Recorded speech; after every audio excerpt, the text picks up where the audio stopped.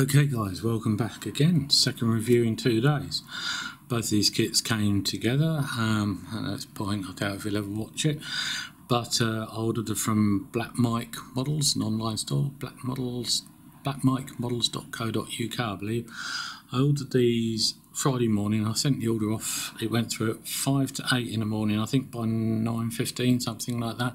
Had an email to say they'd been posted. He lives up in what looks like the wilds of Scotland, and he gets his mail collected at ten o'clock every day. And uh, it was here Monday. So I just these are two that I've uh, in, uh, wanted. Um, well, not wanted, decided to get. The other one was the uh, Spitfire review, which went up yesterday, the Eduard one. This one, as you can see, is a little Cessna 02 uh, A Skymaster, Skymaster, uh, made by ICM Models, 148 scale again. Um, made famous in the film Bat 2-1, except Bat 2-1 used the civilian version, which didn't have... Uh, the civilian one had spinners, which this one doesn't, and the civilian one didn't have the extra um, viewports. I'm not sure about the ones in the roof, but I know it didn't have those. Uh, so if you want to build the one from the movie, you can't. But I've always liked these little planes ever since I think Airfix did one. I just looked at it and didn't even really believe it was a real plane. Couldn't work out how it even worked. But uh, I actually sat there. It's on YouTube, and I watched the film yesterday, and it's still a good film. Danny Glover, Gene Hackman, two good actors in it, and it's a true story. If you haven't seen it, see if you can find it watch it. It's well worth a watch. Good action all the way through obviously based in the Vietnam War. Uh, quick praise is uh, uh, Gene Hackman. He's quite a high ranking colonel, knows a lot of secrets, gets shot down uh, from a reconnaissance plane. And Bat 2 1's a spotter in one of um, yeah, Bat 2 1 is a spotter who's played by Danny Glover in one of these. And uh, yeah, I won't spoil it anymore. But if you can find it, watch it if you haven't seen it. It's a good film, quite an old one, but very good. Anyway, as you can see, ICM kit, usual kind of thing, just show you around. There's a few versions in the kit, there's not a lot of difference. Um, kit numbers, what's that looking at? 48290, I'm reading it upside down. So uh, you just got usual bit of bump on there, and same on the other side. ICM, I don't know if you know, has this strange box arrangement. It's a good sturdy box. The lid comes off, and then it's another kind of box inside, and it's a I don't know why you just it comes out. What I like about ICM is no wrapper room look. Fits so well that um, the parts can't move around. I think that's great. I think that's a really good good way of doing it. Anyway, put the plasticky bits aside we'll have a quick look through the menu, uh, menu, the the instructions. It's going to be a bit of lens flare as I slowly bring the light back in. I'll try and leave it there so it's not too much. So you've got your colour call outs. Unfortunately, it only gives them in Revell and Tamiya. Not that I've got any uh, thing against Tamiya paints, but uh, if you want the right sort of colours, you have to look them up. What sort of gull grey or whatever it was. Anyway, sprue call out. One thing they do, I did notice, is that they do actually give you the spinner. So whether they're contemplating doing a civilian scheme one in the future, I don't know. Um, but that would mean retooling all of this one because you'd have to have the different side panels unless they're going to give you another little sprue with bits to fill those in, in which case you'd have to do a bit of filling work as well. But uh, I really don't know. Uh, starts off with assembling what I believe is a radio rack or electronic equipment went in the back. Um, gluing the glass in, Same there, bit of engine detail. That's for the front, nose gear. Building that up as a bulkhead. Installing that and this electronics rack. Uh, pilot's yoke, not sure what that is at the moment. That's a seat, obviously. Um, oh, I see, that's the up, seat upside down. That's that. Turn it over, put the back on. Instrument panel, which is just a decal cockpit floor, install the seats, uh, put that unit into the right hand body, left hand, put the glazing in. Oh, a couple of machine guns, or, or rifles I should say, probably not, hadn't noticed that. Join the two halves together, 10 grams of weight, because obviously it's going to be a tail setup, but those twin booms. wonder if 10's enough. Um, putting the cowling on, combing, one of the props. That's a pusher prop going on, and the tractor prop at the front, canopy. Uh, glass panels in the top of the roof, all the upper wings in one part, gluing that on. Uh, air scoop going on, some sort of grab rail, I guess. Little uh, aerials, presume they're all aerials, don't know. Some point you've also missed that. Go back a second. Oh, this bit makes up the main gear. I was hoping I could do maybe an in-flight diorama. i have to have a think about that.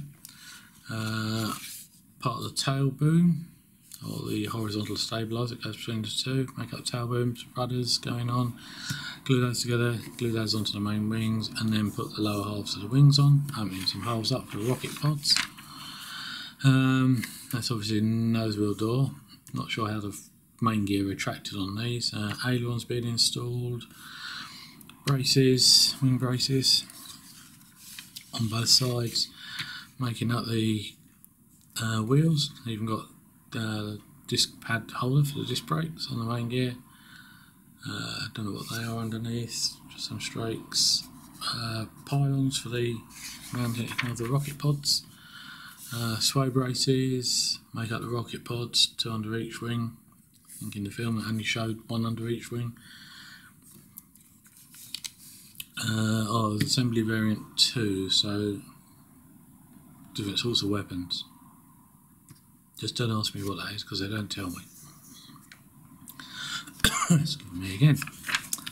And finishing up, I don't give you a template. Here comes a dog in case you're wondering what that noise is in the background.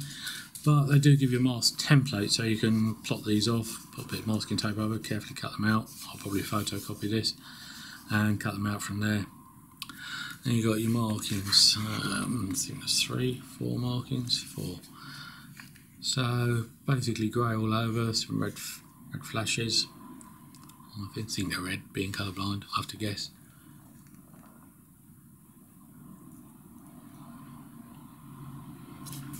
Think it's colour N, looking at my...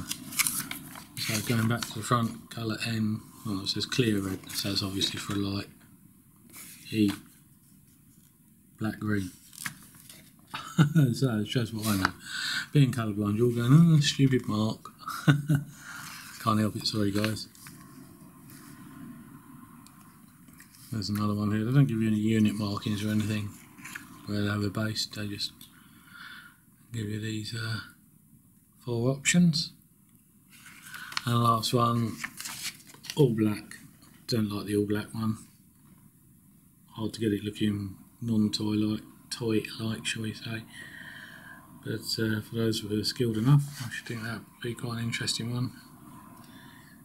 Can't even see, that hasn't even got any stars or bars on it that I can see. So perhaps a little bit dull that one.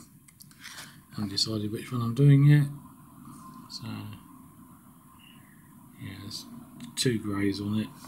A which is oh actually one of them is white. I never thought it was white. It looked white in the film.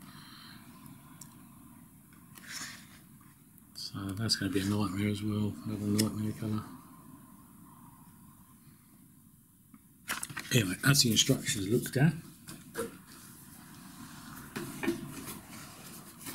Let's do the plastic last.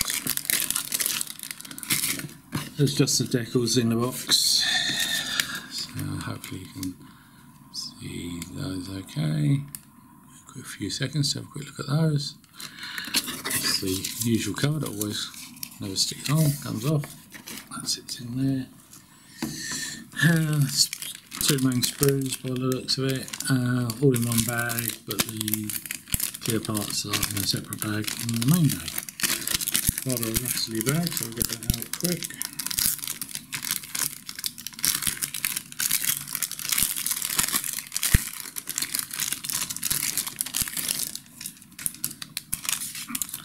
I won't get the clear parts out, but you can see them in the, bag. They don't look too bad. Might be a bit of distortion going around the corners, but what do you expect? Okay, onto the sprues. Let's start with the fuselage, shall we? nicely nicely moulded. Let's bring the light round more now. Nicely moulded, few swirl marks, nothing to worry about. Instrument panel looks great considering there's uh, no decal on there.